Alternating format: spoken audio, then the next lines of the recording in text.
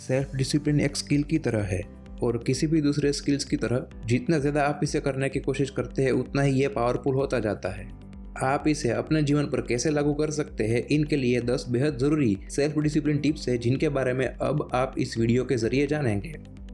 तो शुरू करते हैं पहली टिप से। परस्यू मिशन यानी किसी एक मकसद को बेहतर बनाना। मिशन का सिंपल मतलब है हमारा कोई ठोस गोल होना। और परफेक्ट मिशन का होना आपके बर्निंग डिज़ायर को पाने में आपकी 100 परसेंट हेल्प कर सकता है। इसलिए किसी एक मिशन को फिक्स करके तब तक उस पर बने रहना सीखे जब तक आप अपना बर्निंग डिज़ायर ना हासिल कर ले।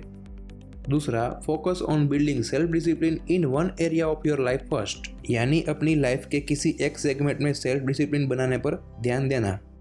एक साथ एक से ज़्यादा सेगमेंट में ध्यान देने से डिस्ट्रैक्शन की स्थिति पैदा हो सकती है।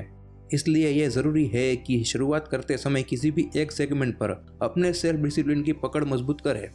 एक बार जब आप ऐसा कर लेते हैं तो सेल्फ डिसिप्लिन आपकी लाइफ के दूसरे सभी सेगमेंट्स में इम्पेक्ट करता है, जिनसे फिर आपको उतनी मेहनत दूसरे सेगमेंट में नहीं करनी पड़ेगी जितनी आपने अपने फ़र्स्ट सेगमेंट में की होगी। तीसरा फोकस लाइक अ स्पार्टन यानी एक संयमित इंसान की तरह ध्यान लगाना। ये बात सच है कि ऐसी बहुत सी तरकीबें हैं जिनके ज़रिए अपने सेल्फ डिसिप्लिन को बढ़ाना पॉसिबल है। लेकिन एक बार में सारी तरकीबें आजमाने के बजाय, यह अच्छा होगा कि आप अपने सभी सेल्फ डिसिप्लिन सेगमेंट को एक ऐसी तरकीब जो आपके लिए ज़्यादा कंफर्टेबल हो, उस पर शांति से पेशेंस के साथ फोकस करके ज़्यादा से ज़्यादा रिजल्ट्स हासिल कर सकते हैं। चौथा शेड्यूल इट यहाँ शेड्यूल का मतलब है डेली रूटीन बनाना। एक बेहतर शेड्यूल होना सेल्फ डिसिप्लिन को बहुत आसान बना देता है, क्योंकि आप जानते हैं कि आप कब कहाँ है, कब तक है और क्या कर रहे हैं। बेहतर शेड्यूल बनाने के लिए आप हर रोज टू डू लिस्ट का भी इस्तेमाल कर सकते हैं। टू डू लिस्ट के बारे में अगर आपको पता ना हो तो ऊपर आई बटन पर क्लिक करके उनका पूरा वीडियो देख सकते हैं। लेकिन पहले आप ये वीडियो पूरा देख ले, उसके बाद पाँचवा spend more time with successful people यानी अपना ज़्यादा टाइम सफल लोगों के साथ बिताना।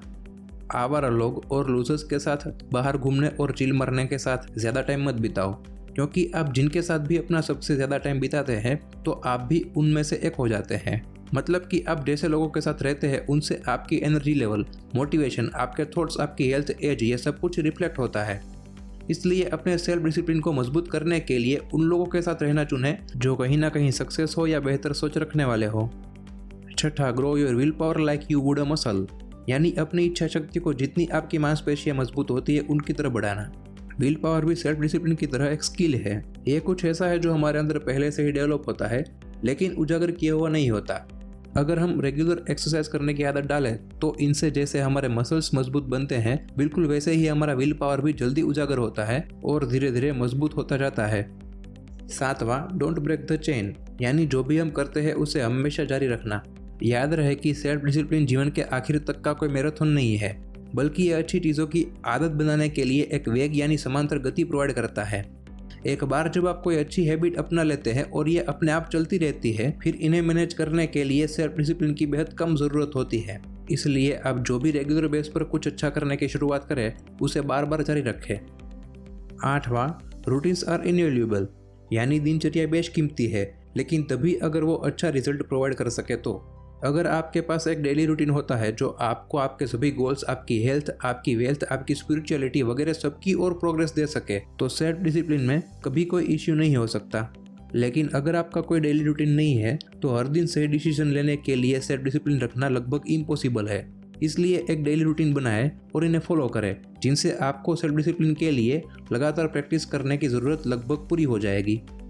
नवा when appropriate make use of these four techniques for mental toughness मानसिक रूप से ठोस बनने के लिए जब भी ज़रूरत पड़े, तब इन चार तरकीबों का उपयोग करें। पहला टफ सिचुएशंस में खुद को बनाए रखने के लिए अपने छोटे छोटे गोल्स को बिट साइज़ में, यानी छोटे छोटे लेवल्स के साथ सेट करें। दूसरा, अपने दिमाग को अपने गोल्स की तरफ़ हर तरह से पावरफुल करने के लिए अपने ड्रीम्स को अपने माइंड में विजुअलाइज करें। तीसरा, हमेशा अपने आप से अच्छी और पॉजिटिव बातें करें। चौथा हर चीज़ में एक्साइटमेंट या उतावलेपन को कंट्रोल करने के लिए गहरे श्वास लेने की तरकीब अपना है दसवां कैपेबिलिटी एक्सीड्स बिलीफ यानी क्षमता विश्वास से भी ज़्यादा कारगर होती है। जब भी आपको ऐसा लगे कि आप और आगे नहीं जा सकते तो अपने मिशन के बारे में सोचें और अपना बिलीफ बनाए रखें। क्योंकि ऐसी स्थिति तब आती है जब आप अपने मिशन के लिए अपनी सारी कैपेबिलिटीज़ को नच्छावर कर दे, लेकिन आपको फिर भी अपने अंदर थोड़ा सा बिलीफ उजागर करने की ज़रूरत होती है। कहने का मतलब ये है कि बिलीव तभी आपको सबसे अच्छे से काम लगेगा जब आप अपनी सारी कैपेबिलिटीज को पूरा झोंक चुके होंगे।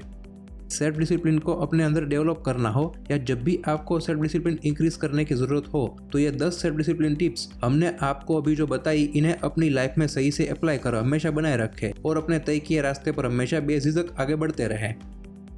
और अगर आप और भी डीप में जानकारी पाना चाहते हैं इन 10 सेल्फ डिसिप्लिन टिप्स के बारे में तो ये book self discipline powerful techniques from billionaires navy SEALs Spartans Olympic athletes and entrepreneurs आपको ज़रूर पढ़नी चाहिए जो लिखी है best self discipline author Dominic Mann ने इस बुक को खरीदने या ऑनलाइन ई बुक डाउनलोड करने के लिए डिस्क्रिप्शन में दिए गए लिंक पर क्लिक करें और परचेस करें Success is actually short race whose sprint fueled by self-discipline just long enough for habit to kick and take over.